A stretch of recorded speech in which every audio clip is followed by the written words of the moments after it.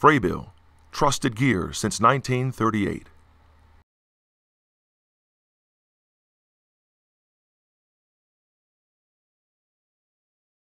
Ever since anglers first baited hooks, live minnows have played a primary role in catching fish. As bait, minnows are just about as good as it gets. They come in many species and sizes and are available all year long regardless of season, and they sport a lively natural action in both warm and cold water. Numerous minnow types are available throughout North America, but a handful of species account for the bulk of live bait use. Fatheads are a common and very hardy minnow species and they're available all year round. In their juvenile form, they're called crappie minnows. Shiners are popular minnows. They catch nearly all species of game fish. There are dozens of species of shiners, but the most popular are golden, lake, and spot tails. Most shiner species are fragile and very temperature sensitive, so keep them in cool and well oxygenated water. Chubs are cool water bait fish that typically are trapped in small streams. The most accepted and available are red tails and creek chubs. All chubs are sensitive to warm water temperatures and require good oxygen levels. Suckers are a well-liked bait fish for large predators. They're available in a range of sizes from 3 inches, which are great for walleyes, to 12 inches for targeting big pike and muskies. Dace are colorful lake minnows that closely resemble chubs and are often referred to as rainbows. When shopping for minnows, keep two things in mind. Make sure you get the right size of the minnow for the fish you're after and check to see that they're healthy and lively. To keep them lively, load your minnows directly into an insulated bucket with portable aeration. The other way of getting minnows is to catch your own. When your bait comes from local waters, you know the fish are used to seeing and eating them often.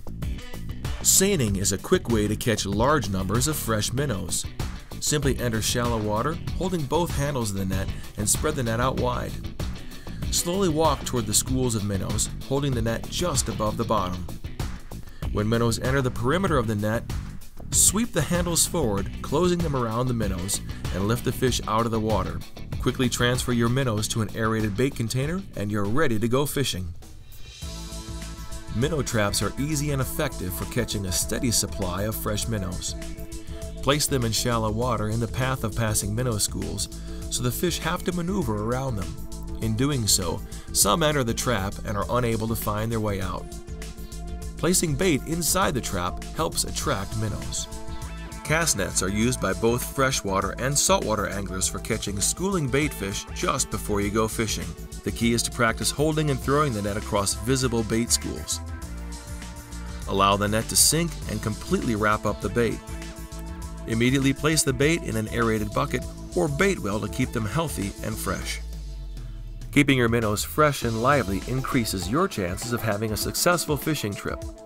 The best way to achieve this is to keep your minnows cool and aerated.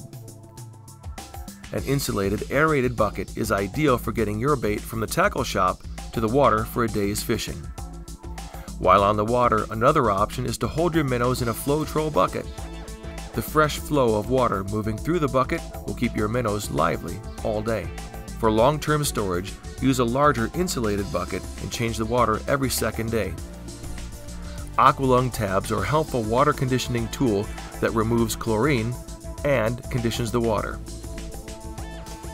Live bait rigging with minnows is a favorite of walleye anglers. The typical rig incorporates a hook, snell, and a swivel along with a sliding sinker. Most anglers hook live minnows up through both lips and slowly pull the minnow along headfirst in a natural fashion. With larger, bulkier minnows like chubs, consider hooking them through the top lip. Bobber or float fishing suspends your minnow at a desired depth, generally just above the bottom or alongside cover. When float fishing, hook your minnow lightly through the back or through the tail. Spinner fishing with bottom bouncers or three-way rigs presents a minnow with more speed, flash, and vibration than a live bait rig, and triggers walleye strikes with a more aggressive presentation. Hook minnows up through the lips on a modest size hook. Drift or troll the rig just fast enough to keep the spinner moving. Jigging is an incredibly versatile method for fishing minnows. Match the jig weight to the minnow size and the depth of water you're fishing, along with the fish that you're after. Most anglers tip a jig by inserting the hook up through the bottom of the minnow's chin and up through the head. Ice fishing with tip-ups is much like bobber or float fishing in that it suspends a minnow at a given depth. Rig small to medium-sized minnows just like when float fishing for walleyes or bass in the summer. For larger toothy species like pike, use a two-hook quick strike rig with a lightweight fluorocarbon or wire leader. And always remember when using minnows, keep your water cool and aerated.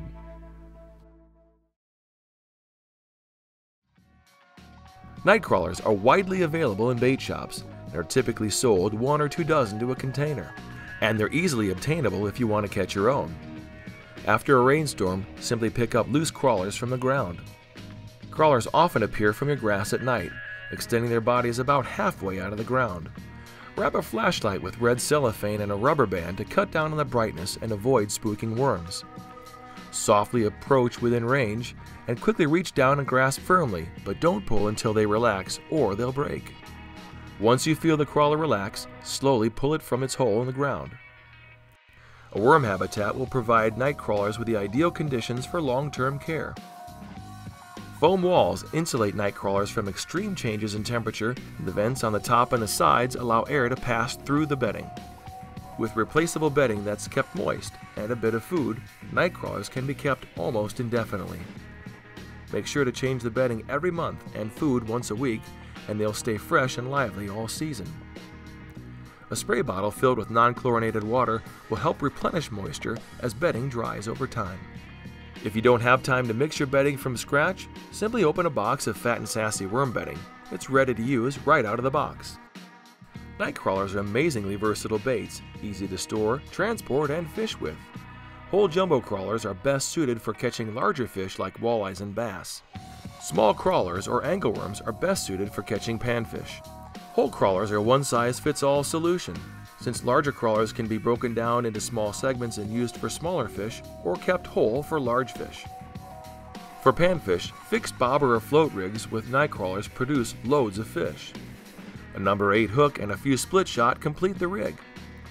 Using your fingernails, nip a small piece of crawler off one end of the worm and thread it on the hook to disguise its presence. When rigging for walleyes or bass, hook the crawler lightly through the nose using a number 6 live bait hook, or thread the hook through the nose and out the side. For spinner rigging, thread an entire crawler onto a tandem spinner rig. Place one hook through the nose and the other partway down the body. Troll just fast enough to keep the blade moving and to give action to the night crawler. The key to keeping night crawlers alive is to make sure they're always cool and moist.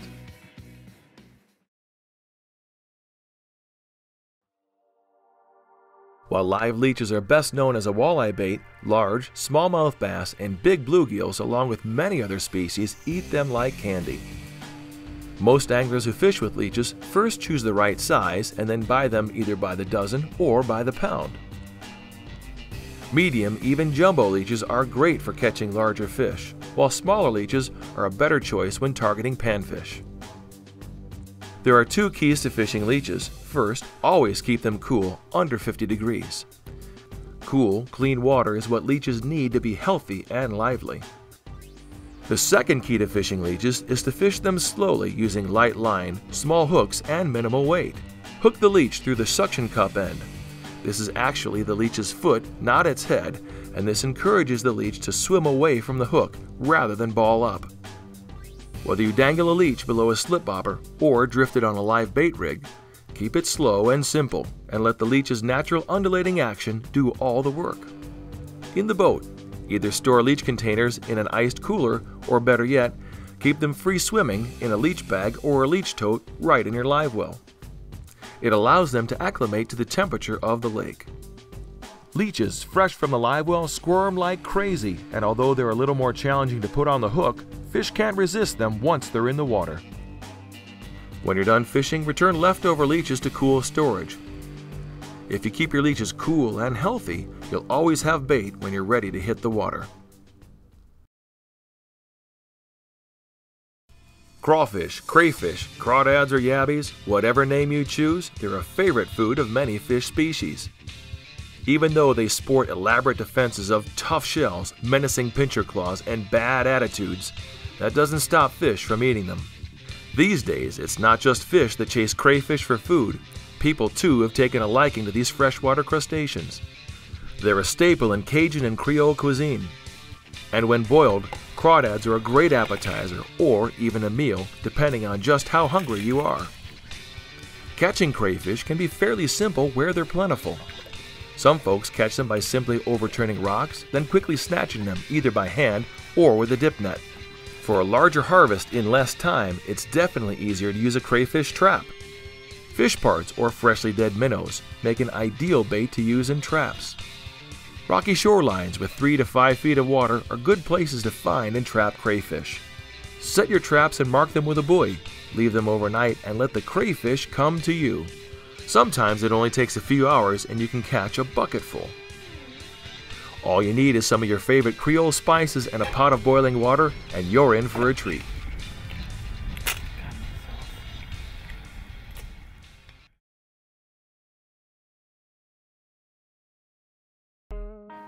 Today, the reality of invasive species is on everyone's mind. Invaders like the round goby, zebra mussels, spiny water fleas, Asian carp, and even viruses like VHS have anglers and fishery managers on red alert. Once invasive species enter a body of water, they change things forever. As anglers fishing live bait, we have to do everything we can to prevent the spread of invasive species. The best way to prevent the spread of invasive species is to limit the movement of water from one body to another. When you buy your bait from a bait shop, you know that the water's been tested and it's free of invasive species. Those are lively. That's gonna catch fish. I've got them insulated in the bucket and oxygenated. I'm ready to hit the water. Tim, thanks a bunch. Have fun. All right.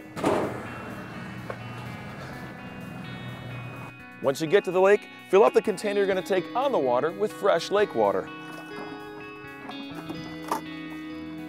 When you get to the lake, use a dip net to get your bait out of the bait shop water and put it into your onboard container. Make sure to save your bait shop water for when you're done fishing. It'll come in handy later on. A Ziploc bag full of ice will keep chlorinated water away from your minnows, but will keep your water cool all day for when you're off the water. When your day on the water is done and you have leftover bait, simply drain the water from your onboard container and place your bait back in the bait shop water that you've set aside.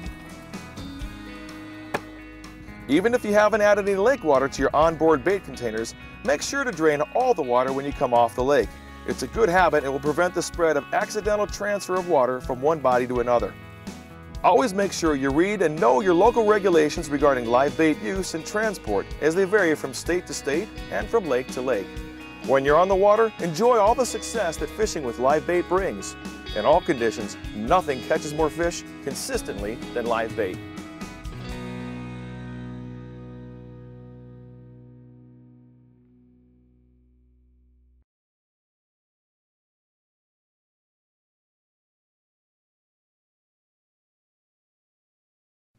Frabill, the leader in live bait solutions.